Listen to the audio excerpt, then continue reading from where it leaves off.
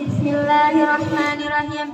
Assalamualaikum warahmatullahi wabarakatuh. Waalaikumsalam warahmatullahi wabarakatuh. Innal hamdalillah wassalatu wassalamu ala Rasulillah Sayyidina Muhammad ibni Abdullah wa ala alihi wa sahbihi wa mawalah amma ba'du.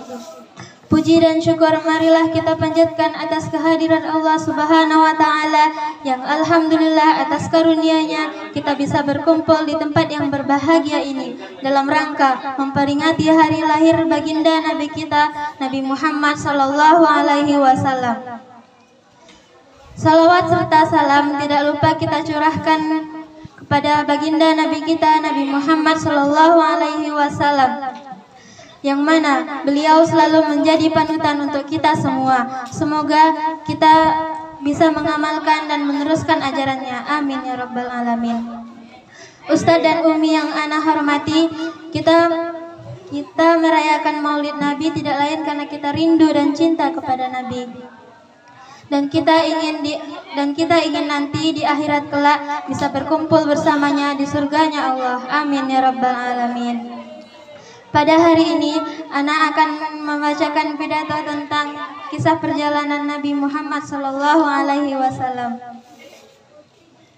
Nabi Muhammad lahir pada tanggal 12 Rabiul Awal 571 Masehi yang bertepatan pada tahun gajah. Saat Nabi Muhammad lahir, ia memancarkan cahaya yang sangat indah. Cahaya tersebut pun menerangi kamar ibundanya yang bernama Aminah binti Wahab dan ayahnya yang bernama Abdullah bin Abdul Muthalib.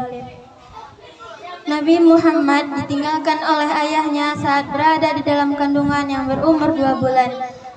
Dan Nabi Muhammad ditinggalkan oleh ibundanya saat berumur enam tahun. Sejak saat itu, Nabi Muhammad Sejak saat itu, Nabi Muhammad tinggal oleh kakeknya yang bernama Abdul Muthalib.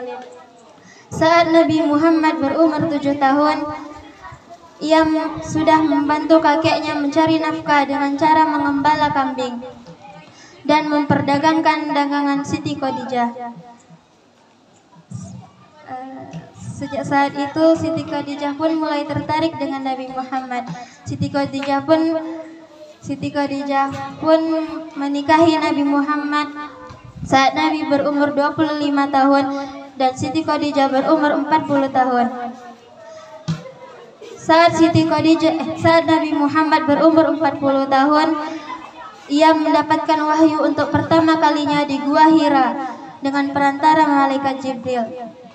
Dan Allah berfirman dalam surat Al-Baqarah ayat 97 yang berbunyi Bismillahirrahmanirrahim.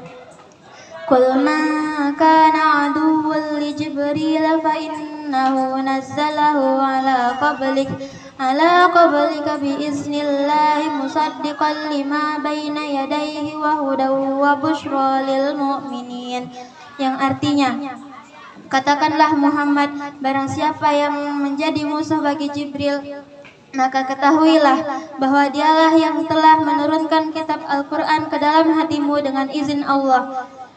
Membenarkan kitab-kitab yang terdahulu dan menjadi petunjuk serta berita gembira bagi orang-orang yang beriman. Dari ayat tersebut kita dapat mengetahui bahwa kitab Al-Quran diturunkan kepada Nabi Muhammad. Kitab Al-Quran adalah kitab yang terakhir dan kitab Al-Quran menyempurnakan kitab-kitab yang sebelumnya. Nabi Muhammad adalah nabi terakhir dari 1250 eh Nabi Muhammad adalah nabi terakhir dari 125 ribu nabi dan rasul terakhir dari 315 rasul. Nabi Muhammad adalah rahmat bagi seluruh alam yang sebagaimana Allah berfirman dalam surat Al-Anbiya ayat 107 yang berbunyi Bismillahirrahmanirrahim. Wa maka wa ma arsalnaka illa rahmatan lil alamin. Yang artinya yang artinya dan tidaklah engkau dan tidaklah dan tidaklah engkau kami utus untuk menjadi rahmat bagi seluruh, seluruh alam. Sekian pidato dari Ana untuk hari ini. Mohon maaf apabila ada salah kata yang yang tidak eh, mohon maaf apabila salah mohon maaf apabila ada salah kata yang tidak berkenan di hati. Petani-petani menabur benih. Sekian terima kasih. Assalamualaikum warahmatullahi wabarakatuh.